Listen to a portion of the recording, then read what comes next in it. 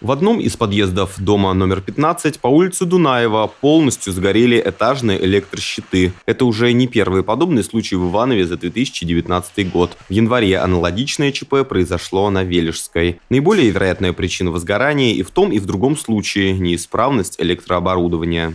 С целью предотвращения пожаров необходимости соблюдать следующие правила – не допускайте детей к электронагревательным приборам и не оставляйте их дома одних с, работа, с работающими электроприборами, а именно телевизор и иные технические приборы. Не перегружайте электрическую сеть. Уходя из дома, гасите свет и выключайте электроприборы. Не пользуйтесь самодеятельными электрическими приборами.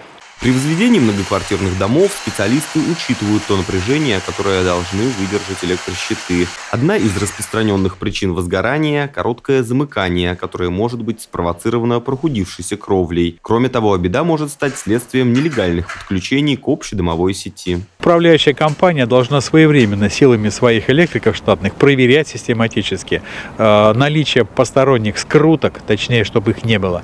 Э, это когда по цене не идет, когда прикручивается кто-то там где-то к общей сети.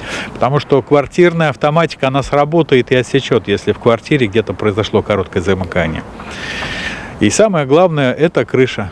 То есть все 90% всех сгоревших э, электрощитков это по причине залива крыши.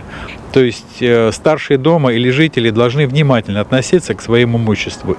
Чтобы не допустить возгорания электрощитов, собственники должны самостоятельно следить за их состоянием. Если есть сомнения в исправности оборудования, обращаться в управляющую организацию. Обслуживанием дома на улице Дунаева занимается УК «Серебряные ключи». Ее представители комментировать ситуацию отказались. Максим Серебряков, Михаил Кенгуров, Антон Осипов, РТВ Иваново.